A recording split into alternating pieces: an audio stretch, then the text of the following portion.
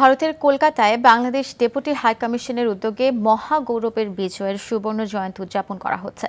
বৃহস্পতিবার দুদিনব্যাপী অনুষ্ঠানের প্রথম পর্বে বঙ্গবন্ধু মঞ্চে মুজিব বর্ষে কূটনীতি, প্রগতি ও সম্প্রীতি শীর্ষক আলোচনা সভা ও সাংস্কৃতিক অনুষ্ঠান হয়।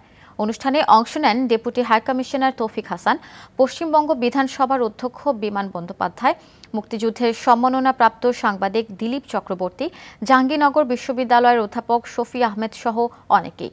এ সময় অনুষ্ঠানে ডেপুটি হাইকমিশনার তৌফিক হাসান, বিজয় সুবর্ণ জয়ন্তীতে ভারতের সঙ্গে বাংলাদেশের সম্পর্ক নয়নের অগ্রযাত্রার প্রসঙ্গ তুলে ধরেন।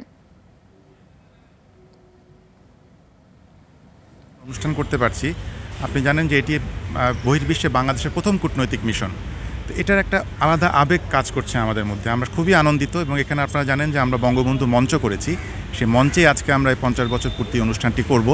সব কিছু মিলিয়ে আমি বলব যে আমি সত্যি খুব সৌভাগ্যবান যে এই কলকাতার মাটিতে বসে আমরা এই পঞ্চাশ বছর পূর্তিটি উদযাপন করতে পারছি।